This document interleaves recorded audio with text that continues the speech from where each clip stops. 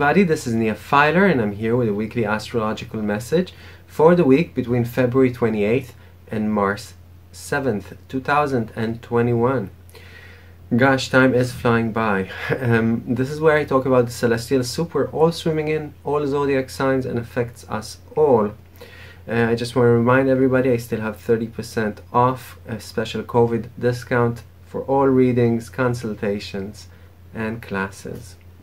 So, what is this week like?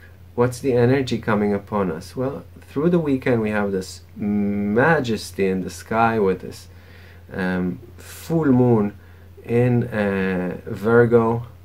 Um, a full moon that talks about our need for integration, integrativity, and uh, understanding the interactivity of everything, like the Lakota stress Mitakuye oh, Yasin, we are all related, everything is connected. And without understanding that integrativity and interconnectivity and interdependence, there won't be any healing, any movement forward. In order for this sense of community and bond and connection to reignite and flourish in our lives, in order for us to mend Virgo and do the work needed Virgo in a better way Virgo. Um, as this full moon stresses there's a yod formation in the sky that helps us do the purification process. It starts with Saturn in um, in the sign of Aquarius talking about all these new restrictions new uh, Aquarius Saturn restrictions new laws the changes Aquarius that the system, the laws, the, the governments, the countries, indeed the structures of our lives needed to go through through 2020 this social distancing the coldness these are the two coldest signs of the zodiac. The harshness of things the feeling of separateness and lack of support that needs to be cleared, that needs to be mended, that needs to be purified, that needs to be, some of it at least, left behind. Why? We go to the head of the Yod formation, the full moon itself, in order for that mending, that homeostasis, that healing process on all levels, that integral, integrative healing process to take place. What would happen afterwards? We're going to the scorpionic end of the Yod with Chiron and Aries sitting on the other end, there would be a healing, Chiron, of the self, Aries, the belief in oneself and our potential to make change and cause a healing to this wound we've been carrying.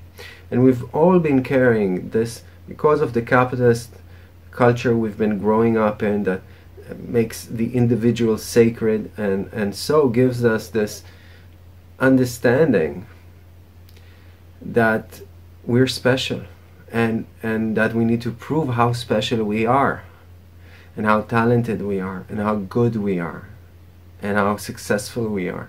To who we need to prove that? Is it to our parents, our teachers, our bosses, the pillars of society themselves, ourselves? Nobody knows. But we are living with this constant feeling of needing to prove ourselves that is accompanied by the constant feeling that we're not good enough, that sensitivity, that we're lacking, that others are better than us. And that needs to be changed, that needs to be healed.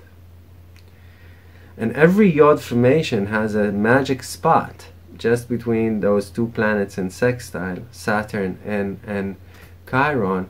And in this case, that's the sun in Pisces standing there exactly. And what does the sun in Pisces says? It's the same love, it's the same light, it's the same existence we all share. Things have been the same before the words of men and will be the same after the end of these words. There are some simple truths that are everlasting and never changing. We all live on this spaceship Earth. We all drink the same water, eat from the same resources, need the same love and comfort and stability.